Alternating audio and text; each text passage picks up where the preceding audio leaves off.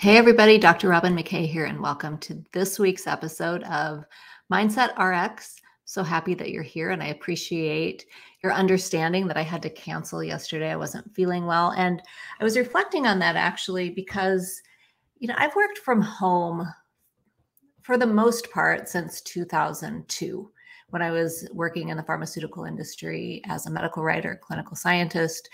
I lived in Kansas and my offices were in San Diego. And so I spent a lot of time online ever since then. And while I've been back in the office periodically over the years, I really have gotten an appreciation lately for all of us having the same experience of being at home. Because in the past, if something went sideways at home, what kind of the unspoken encouragement was is just pretend like it's not happening. You don't want your colleagues to know that anything is going sideways in your life. You need to show up and do your work and be an be an awesome contributor regardless of what's going on in the rest of your life. Well, if the last 18 months haven't taught us anything, I think that one thing that I've taken away, and I know a lot of my clients have too, is how important it is to give each other grace for just the daily stuff that comes up in our lives. I have a sick puppy. We've got a plumber downstairs going on. My husband's working and he's had tech problems with his job today. So there's just all of this stuff going on. And yet, not just me, but all of us are expected and we want to actually show up and do our best work, and yet we're constantly being challenged to do so. So that's a little bit of what I'm going to be talking about today. I want to welcome you. If you're watching live, say hello in the comments. I'll watch those coming in. Sometimes they lag a little bit. So if I don't see you live, I'll definitely respond to you afterwards.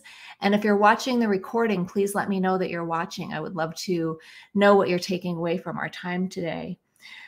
And so today, the big question that I'm going to be talking about is should I stay or should I go? And this is part of the great resignation that has been sweeping the globe, people making decisions to leave their organizations uh, to pursue other dreams. Miss Holly is here. I just saw yours pop up, and I'm just going to interrupt myself and say hello to you. But this great resignation is it seems like it's happening at every level of leadership, whether it's an individual contributor all the way on up to top leaders in organizations.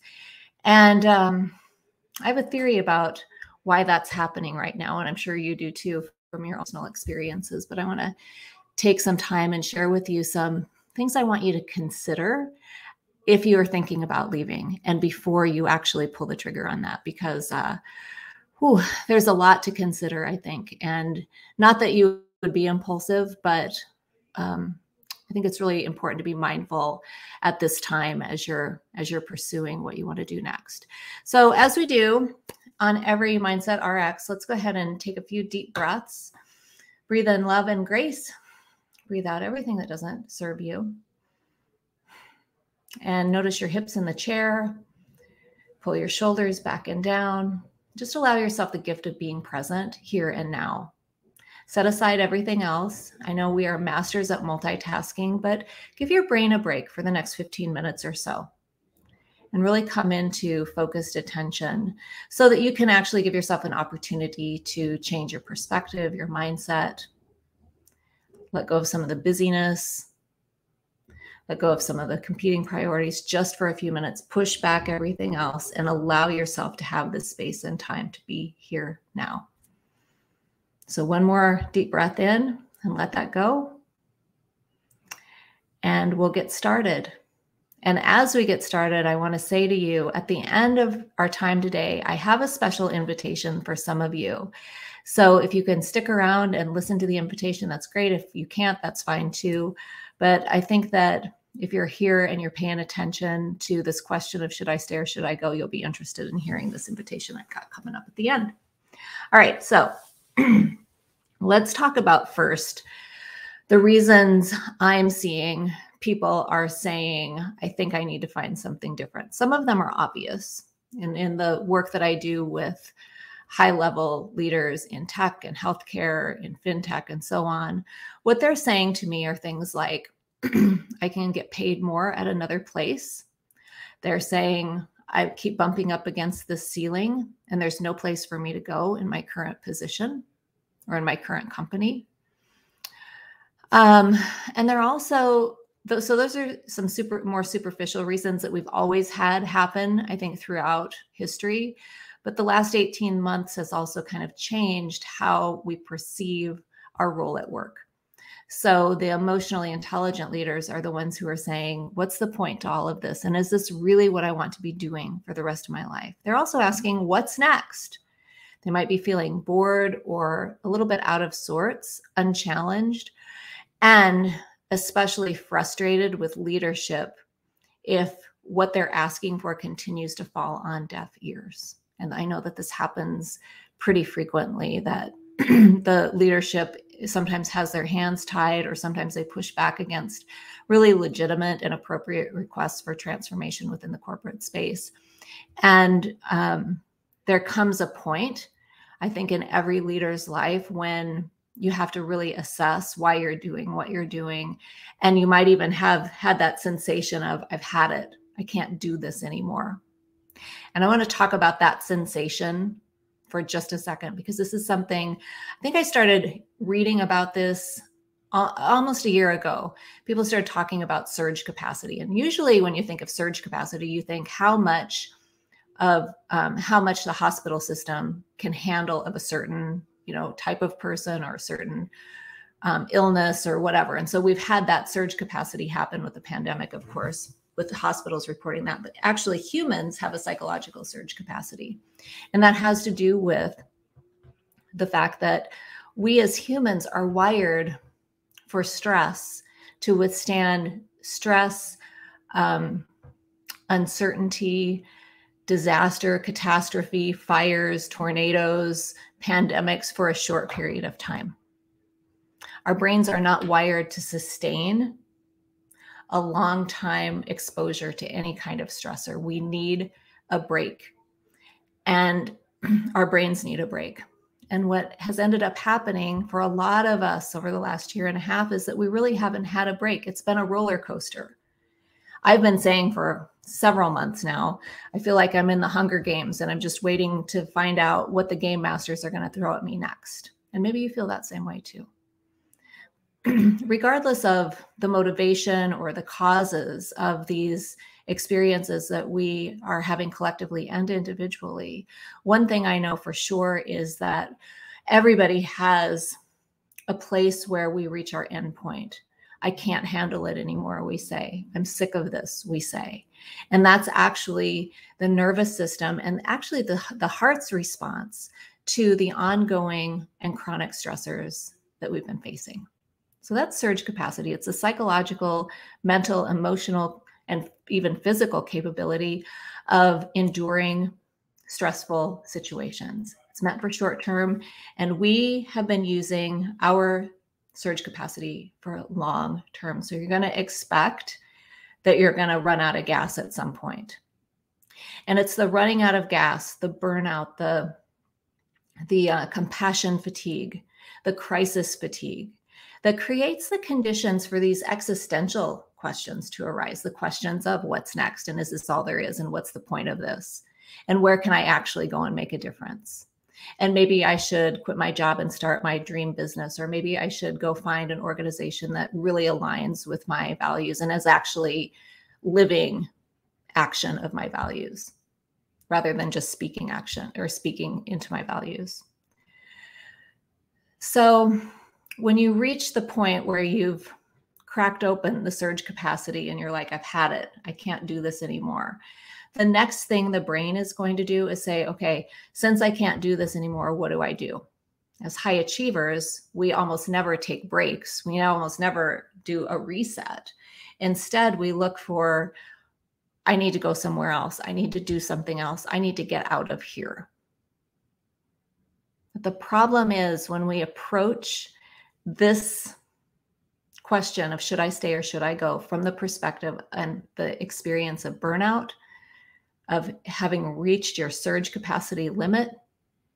You're making the decisions from a burned out, tired, exhausted, I'll take anything perspective. and you're not giving proper credit or honoring your your heart's mission, that thing that inside of you that you know that you're meant to do that's calling you.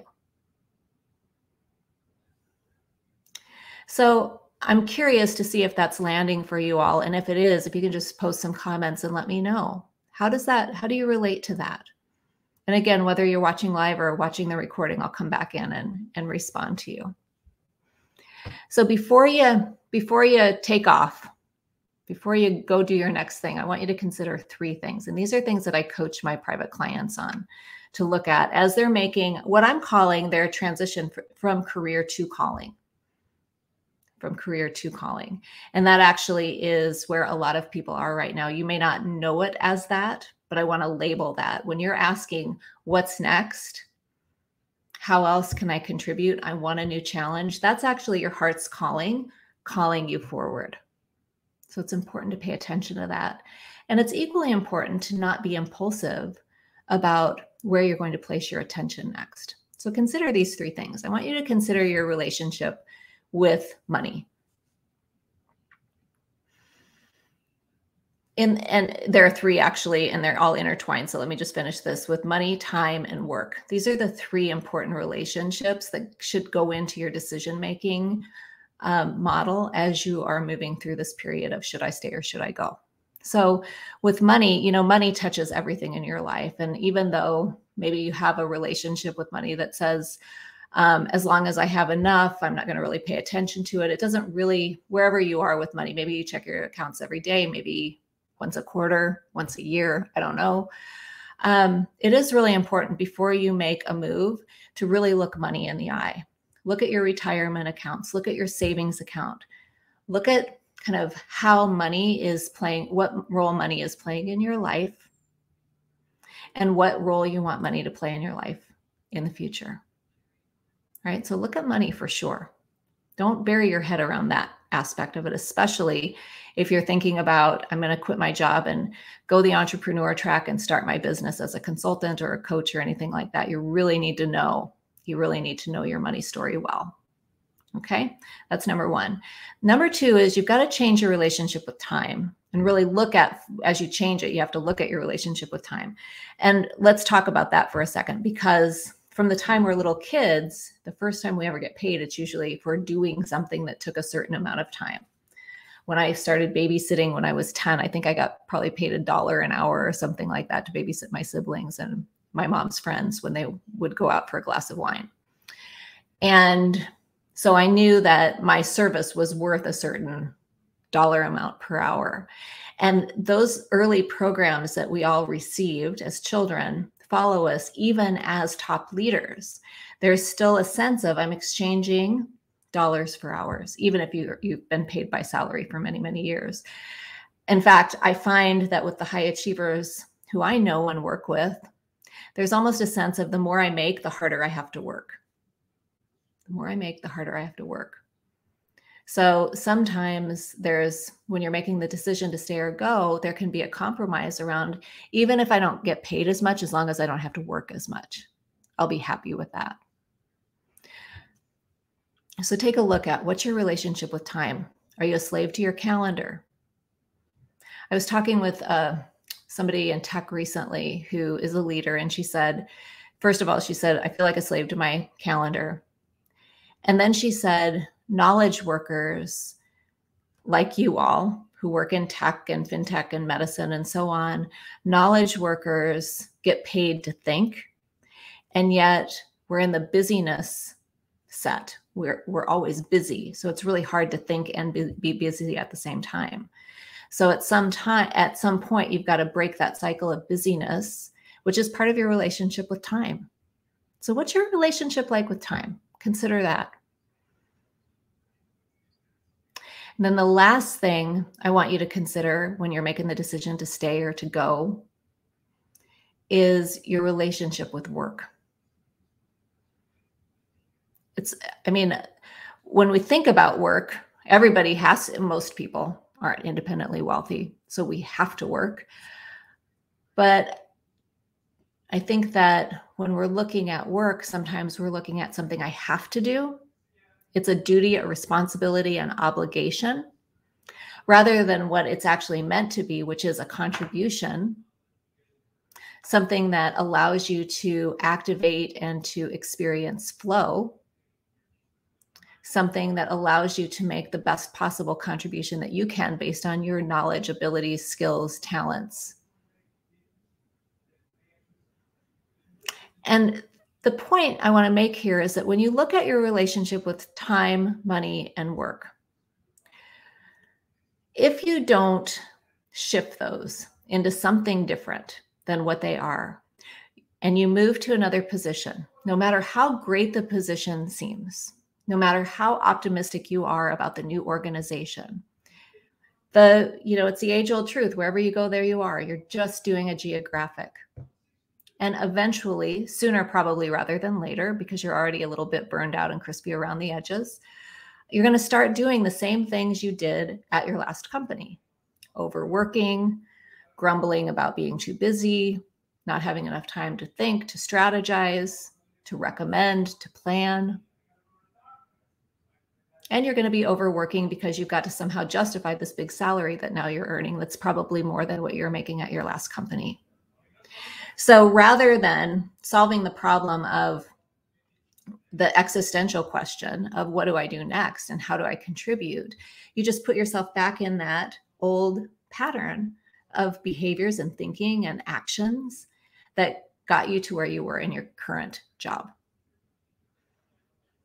So, my number one piece of advice for you when you're answering the question, should I stay or should I go, is actually this Are you willing to do the inner work to shift your stories and your relationships with money, time, and work so that you can actually have a fulfilling experience in whatever you decide to do next, whether it's to land in another organization, whether it's to go out on your own as a consultant or a coach, whether it's to be a plumber in my garage, which you can probably hear drilling.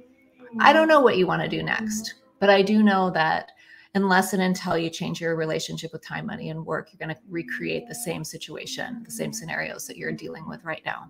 Okay. So there's good news, bad news in that situation. So that's my best advice for today.